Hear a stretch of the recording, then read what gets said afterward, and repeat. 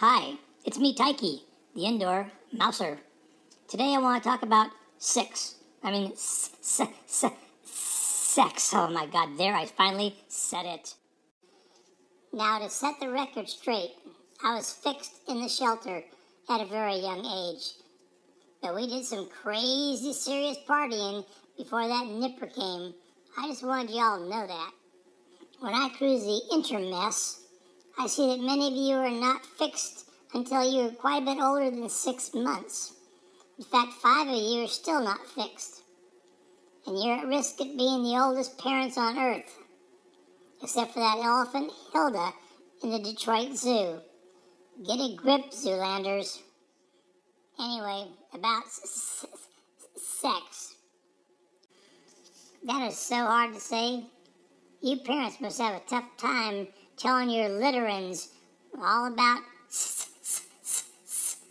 I'm done. The intermess has lots of stuff on sex.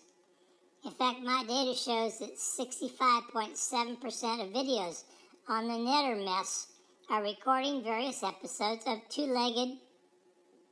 Wait, is that a third leg? So now I'm mousing around the intermess. Why do you call it mousing around? Ugh. Anyway, now I see some four legged shenanigans going on, and uh, you canines seem to be quite fond of the human leg. What is that about, pack animals? So I spent about two hours watching all this stuff, and I have a winner. It's Brutus. Best performance by a balanced four legger. You might have to watch that again. Cool. It's now saved as a loop. Loops are as good as treats for some of you. Well, there you have it. Sex is simply a matter of self control.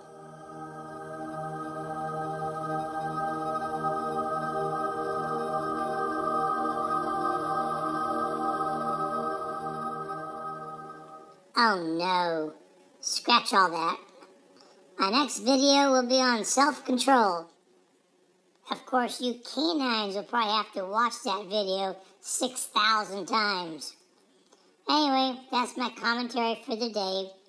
Have a nice day. And don't forget to take a nap. Maybe with another two legged or four. Your mileage may vary.